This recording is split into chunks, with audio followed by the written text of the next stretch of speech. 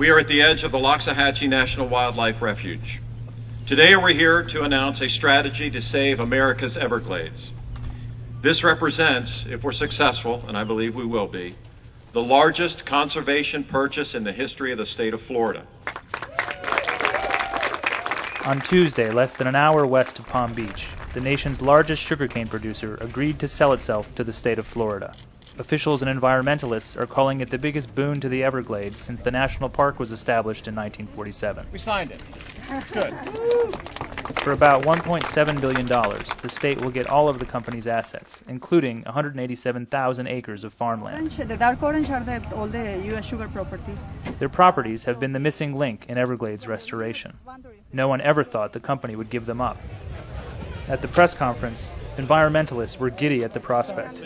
This is huge. This is huge, and I'm so proud of my state. I'm, I'm just incredibly in awe of my governor and the vision and the fortitude it took to secure this for our future. They said it will make the Everglades like it used to be a natural flow of water moving south from Lake Okeechobee and protecting a unique mix of birds, fish, and other wildlife.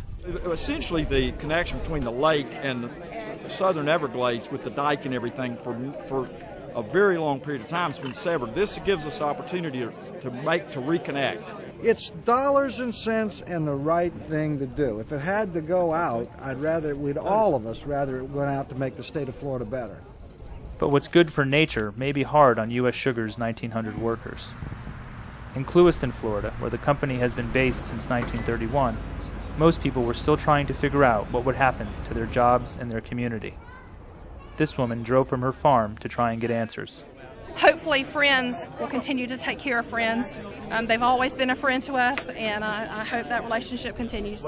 We will announce today when we get back we're going to give all hourly workers a year's wages and severance at the end of the six years, and salaried workers two years' wages.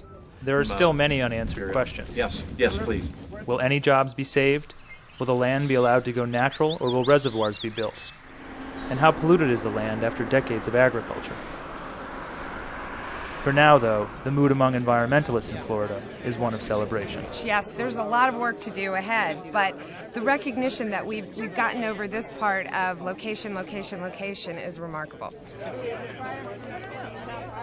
Oh, okay.